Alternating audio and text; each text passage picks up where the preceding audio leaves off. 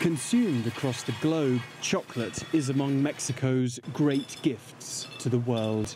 Known to the Aztecs as chocolatl, the food of the gods, today the Mesoamerican invention has become a global industry worth over $92 billion a year. But a culinary movement in Mexico is beginning to take a greater interest in cacao, the basis of all chocolate. Cacao has been used since the civilizations of Mesoamerica. That's nearly 3,000 years.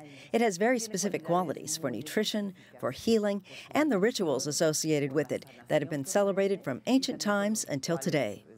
It's a movement that is seeing Mexicans reconnect with their ancestors through ancient ceremonies that use cacao in the same way as Aztec emperors of old. What I felt since my first time was an enormous opening in my heart, like the feeling you get when you have done something amazing, like climbing a mountain, like when you feel very happy about what you have achieved, and you can feel it throughout your body. That's what it feels like.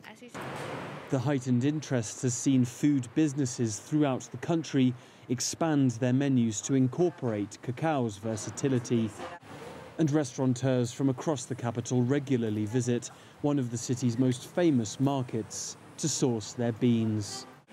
But the greater demand is in part due to a greater supply, one that the sellers here say is grounded in the simple economics of the states where cacao originates.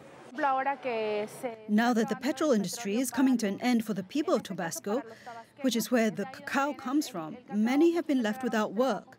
So many are taking up traditional work again, and Mexico City is helping many of them to sell their products. As the movement for real chocolate grows, its benefits appear to be equally wide reaching. As Mexicans take more interest in their cultural roots, it's chocolate which is taking centre stage as one of their ancestors' greatest contributions to world heritage. It's a movement that not only inspires national pride, but benefits the country's poorest farming communities as well. Alasdair Baverstock, CGTN, Mexico City.